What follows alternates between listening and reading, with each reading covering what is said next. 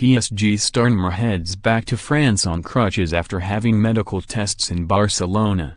Neymar was spotted on crutches at Barcelona airport as he headed back to Paris after having medical tests on his foot injury.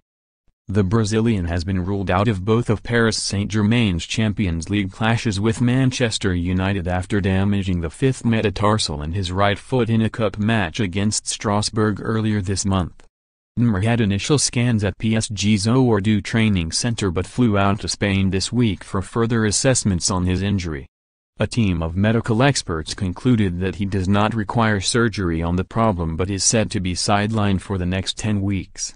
He was seen arriving at Barcelona airport in a black private taxi on Thursday afternoon and appeared to struggle to get out of the car.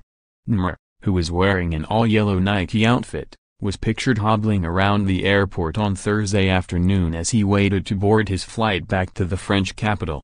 His absence will come as a huge blow for the French Giants who have some important fixtures coming up.